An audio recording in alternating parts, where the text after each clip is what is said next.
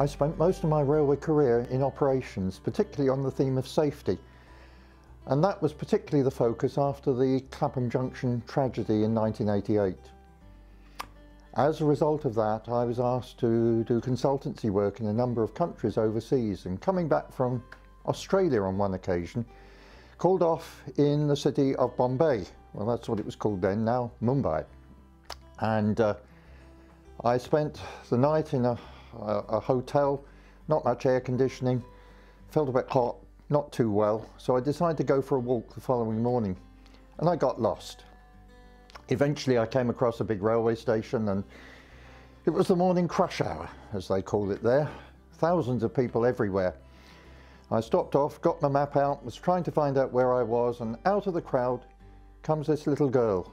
She can't have been more than about six, seven years of age, filthy dirty, and she was begging. And I had no loose change. People said, don't, don't give to the, the, the, uh, uh, the beggars anyway because you'll never stop. And so I waved her away. And to my horror, this little girl suddenly produced a whip from behind her back and started lashing herself across her shoulders. And I, I just stood there dumbstruck. And she did it again. And as I said, I was feeling fragile anyway, and I just couldn't cope with that. And I panicked got into a shop doorway, pulled myself together, and I thought, I can't leave her like that. And I went back.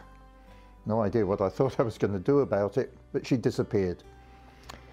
Anyway, I went on my way and I was haunted by that picture. You know, if I shut my eyes now, I can still see that little girl looking at me. When I got back to this country, I realised that she, she wouldn't have done that sort of thing off her own bat. She was being exploited by some, some adult who was, who was telling her what to do.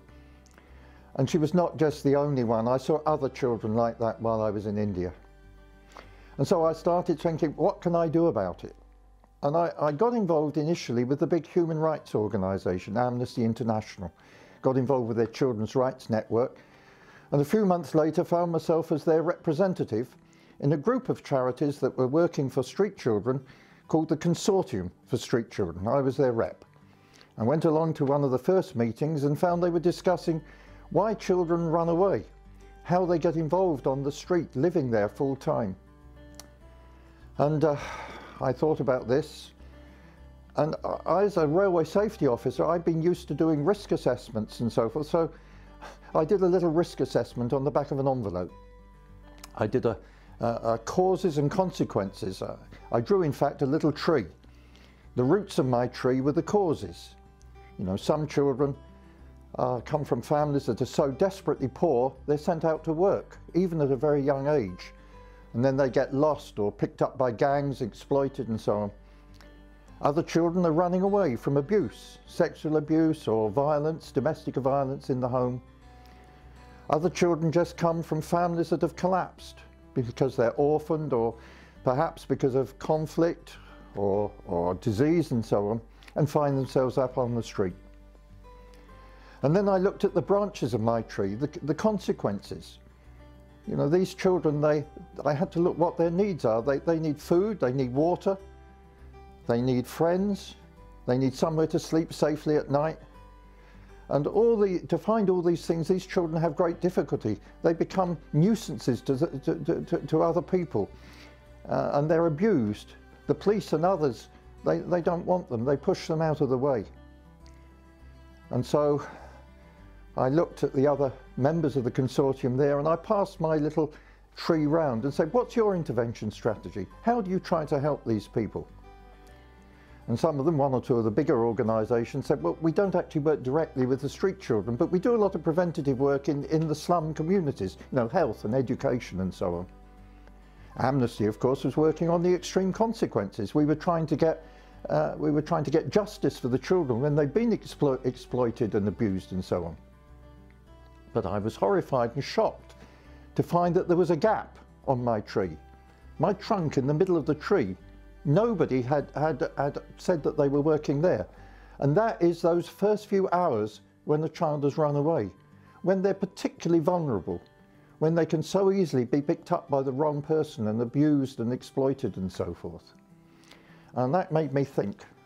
I talked to other members of the consortium, you know, where do you find children like that? How do you make contact with them in those early days? And we said, well, it's, it's on the transport systems as the children come from the rural areas into the mega cities of the world. In India, in Europe, it's a railway station. In Africa and Latin America, it's much more likely to be a bus station. And I, as a railwayman, I thought, well, you know, this is something in which I should get involved. In my railway safety work, I had a lot of dealings with the British Transport Police. And when they heard of my interests, they introduced me to two Salvation Army officers. These two women had been working for a previous 10 years, going around the big London railway stations looking for teenagers at risk. And these two women, they picked up 3,600 children in that period. That's an average of about, oh, one a day. And they also told me a young teenager on one of our railway stations at that time, one of our London stations, had on average between 10 and 20 minutes before they'd be picked up by somebody who would exploit or abuse them. A paedophile, a drug pusher, somebody else who would harm them in some way. I couldn't cope with that. And I thought, what on earth can we do to make a difference in this area? And I started talking to some of my railway colleagues. And we decided that perhaps we could raise money and work in partnership with some of those colleagues in the, in the consortium for street children initially. And so we decided we would launch the Railway Children Charity. And uh, we, we, we actually set up a, a launch system on the, on, on um, where was it, on Waterloo Station Concourse under the clock. And the chairman of Railtrack, the chairman of British Rail joined me. This would be in May 1995. And we actually had 150 people gathered round and we launched the Railway Children.